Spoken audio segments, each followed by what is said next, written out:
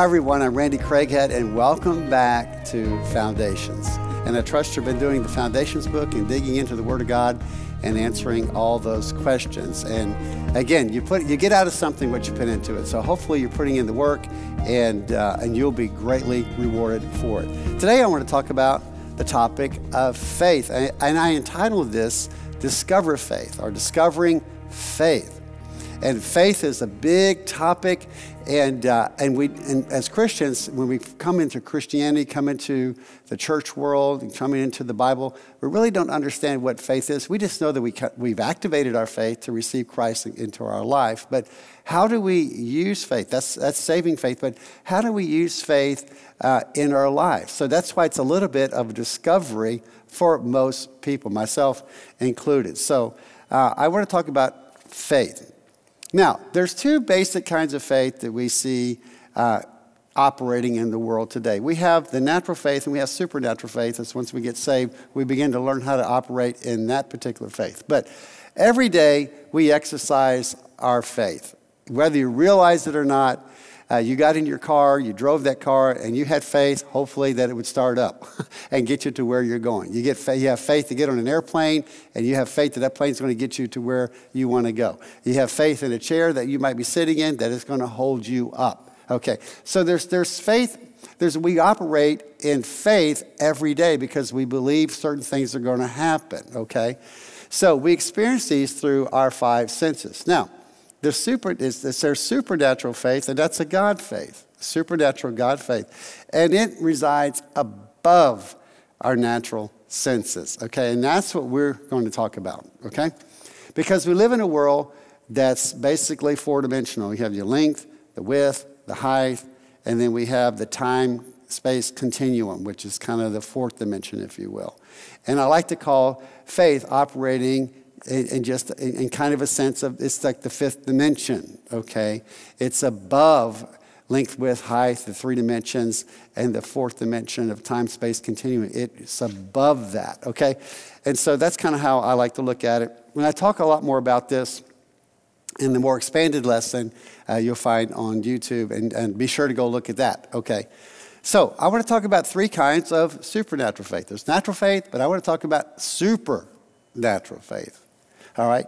So the first kind of faith that we see is, and we've all operated in this, is saving faith. We put our faith and our trust in Christ to be our Savior and Lord, and we ask Him to come into our life.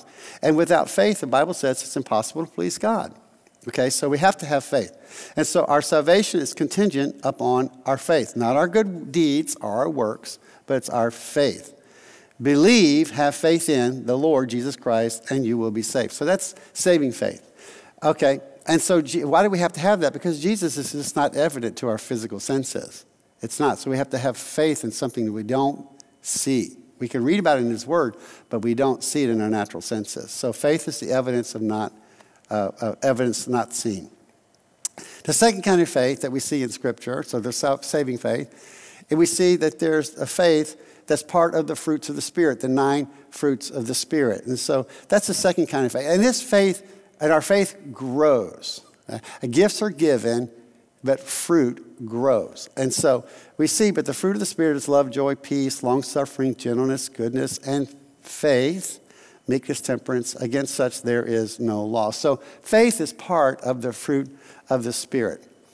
And faith as a fruit is a result of our salvation and our union with Christ. Okay, so it's something that we begin to operate in, the fruit of the Holy Spirit, how we relate to one another. We have the we talked about last time the nine gifts of the Spirit, but there's also nine fruits of the Spirit that grow in our life, and all of us are to grow in those nine fruits of the Spirit. He who abides in me, John 15, and I in him bears much fruit. So it's, it's implying here that we are to, our fruit, fruit is to grow and, and to increase. So there's a growth to our faith. There's growing this. So this fruit, this grows, faith grows in our life. The Bible says if you have faith as, as the size of a mustard seed, in other words, he's talking about just a little bit of faith, okay? So you can have little faith and a lot of faith. So growing in faith is the basis for all other eight fruits and the gifts of the Spirit. Okay, so faith is vital uh, to all of that happening in our life. And in, in Matthew 9, 9 29, it says, according to your faith, be it unto you. Okay? So we, when we pray, we have to pray in faith. And if we pray with a lack of faith, you're probably going to have a, a lack of answered prayers. Okay? So you want to pray in faith. And that's a whole other topic. Okay, the third time of the kind of faith that we see, the supernatural faith, okay, uh, is the gift of faith. It's the gift of faith. It's part of the nine nine gifts of the Spirit. So, so it's a potential in the believer from the moment of salvation. So we all have this potential to have this gift of faith at certain times in our life. And you can see this played out. And it's typically more active after we receive the baptism of the Holy Spirit, okay? And we talked about that last time. So, this gift is given instantaneous, unlike the fruit. All of a sudden, you might be in a situation, all of a sudden, you have a gift of faith towards something for something to happen. Or you believe, you just, just, God drops in your spirit and you go, I have the gift of faith for that. This is going to happen. It's given instantaneously. There's a sudden surge in you to believe with no doubt. Okay? So doubt is the enemy of faith, all right? So all of a sudden you have this surge in you that, hey, I believe this is going to happen and you there's no doubting. And God just gives that to you. And we see this happen in the Bible. Elijah said it wouldn't rain for, for three years, and it didn't. Okay? We see Daniel was in the lion's den, and he trusted God. Peter raised Tabitha from the dead. He said, Tabitha, get up. All of a sudden, whew, he had the gift the faith that this was going to happen. And Peter, bless his heart, he was just sleeping soundly before he was supposed to be executed the next day because he had faith that God was going to deliver him. All, you just have this, it's a supernatural, instantaneous faith. So, why do we need faith? Number one, we said earlier, to be saved, to eternal life. You have to have, this is your saving faith. Number two, to please God. You can't please God, the Bible says. It's impossible without faith. It's impossible to please Him, to please God. So He expects us as believers to operate in faith towards Him, just like a child would operate in faith toward their parents to do good and so forth, to be there for them, okay? And so, so God expects us to operate and relate to Him by faith. Another reason why we need faith is to live by. For in the righteousness of God is revealed from faith to faith. As, as, as it is written, the just shall live by faith. So we are to live by faith. And I love this, uh, this scripture right here in 2 Corinthians 5 7. It says, For we walk by faith and not by sight. In other words, we don't walk by our circumstances in life, even though circumstances affect us, but we are to walk by faith so we can walk around those circumstances or walk through those circumstances. And I love the play on words here. The word walk here in the Greek means peripateo. Okay? And it means to walk around. I love that. All right? It says, For we are to walk around by faith and not by sight. And obviously, we have our natural sight. But when things come our way, God gives us ability when we're operating faith to see, see the situation, the circumstance, whatever it is, from His perspective and not just our perspective okay? And that's trusting in the, that's the faith in God, in Christ, that you're going to see, see things through His perspective. That's why it's so important. Whatever you're going through something, get into the Word and find the promises related to whatever you're going through, because that way you get His perspective and not just your perspective. So, walk with peripateo, we walk around. So, not by sight or by our circumstances. We don't walk around uh, and, and have an, based on our circumstances. We don't, we don't pick up an attitude based on our circumstances. Although we're, we're natural human beings and, and we're vulnerable, things are going to hit us at times and it, they're going to affect us. And, it, and initially, you can get the shock about something or whatever it is, this bad report, and it is going to affect you. But back up a little bit, get God's perspective, get into His Word, and begin to see it from His perspective. And that's exercising in faith in Him. So it's not by sight or by what our circumstances dictate. That's how we walk, okay? And I love this word. In the Latin, circum means around, and substantia means stance. So we are, in other words, uh, we are to encircle that and stand upon it. Whatever that, whatever that situation is, we are to stand, walk around, and, or stand upon that circumstance, above it from God's perspective. It's under our feet, if you will. And we are putting that situation under our spiritual feet and standing upon it with the promises in His Word. That's a whole message right there. But anyway, just to give you a little bit. Another reason why we need to uh, operate in faith is for answered prayer. Answered prayer. It just plays into what I was just talking about. Therefore, I say to you, whatever things you ask when you pray, believe that you receive them. That's important. Believe that you receive them, and you will have them.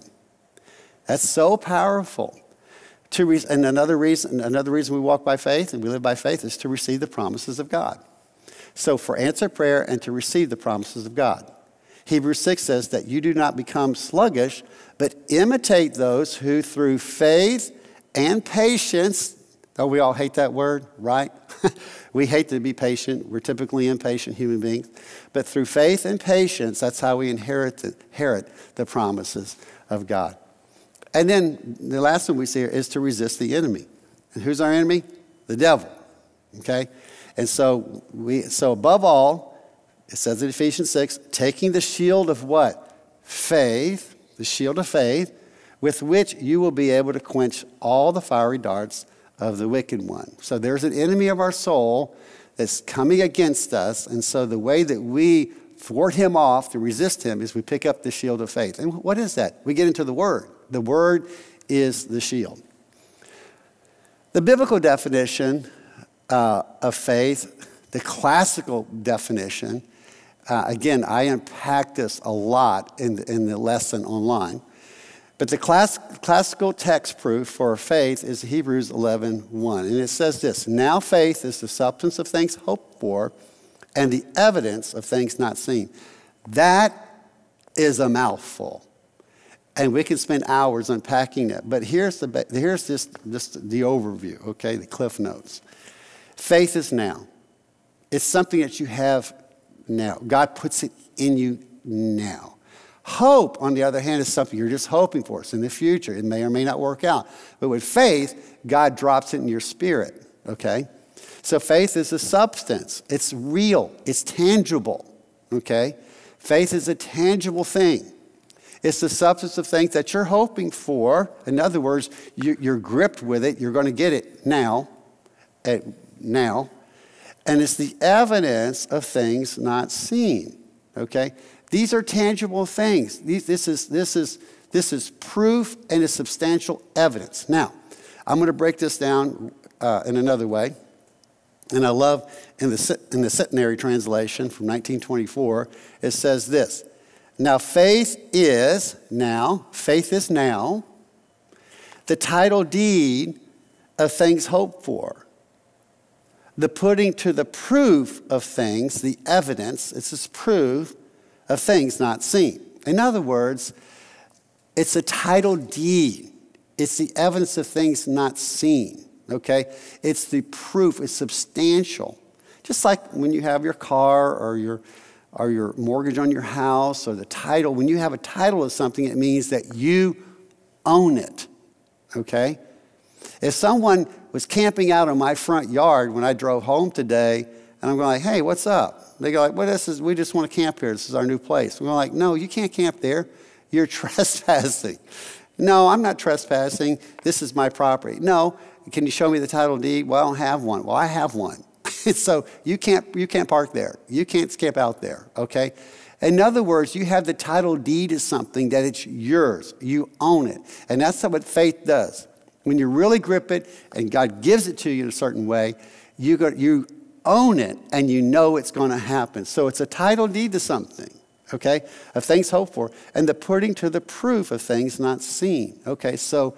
So it, God drops it in your spirit. I remember a testimony years ago that I read about Dr. Cho, Yonggi Cho, who pastored the world's largest church in Seoul, Korea for many years. He's now in heaven.